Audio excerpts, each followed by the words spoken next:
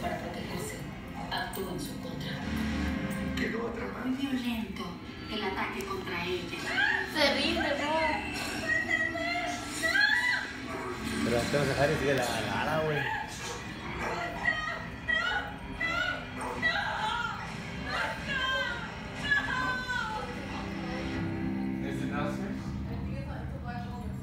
I'll go.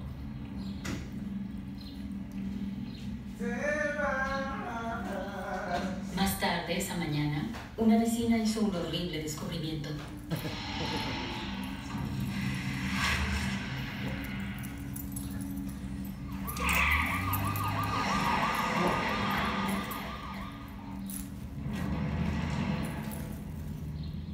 Lo primero que noté fueron unas grandes manchas de sangre.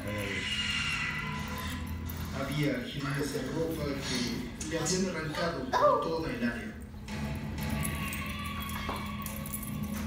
He visto muchas escenas de homicidios y esa era muy sangrienta. Era completamente espantosa. Era muy, muy evidente que habían mordido a la víctima hasta matarla. Básicamente la mataron lentamente.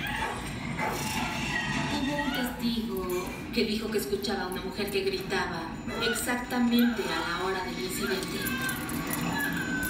Estuvo gritando por 20 minutos. No hubo llamadas a la policía ni ninguna intervención. Fue una tragedia. La policía se enfrentaba a una pregunta complicada, porque nadie fue a ayudar a Clonda. En especial si la ventana de la habitación de Andrew y Julie estaba solo unos metros del lugar del ataque. Debieron escucharla. ¿Por qué no respondieron a sus súplicas? Muchos están seguros de que ellos soltaron a los perros a propósito. Su mayor temor era que la asesinaran.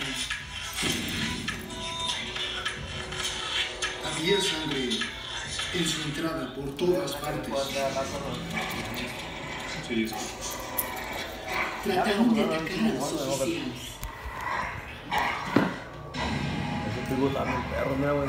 Se vieron obligados a dispararles a los perros. You killed the dogs?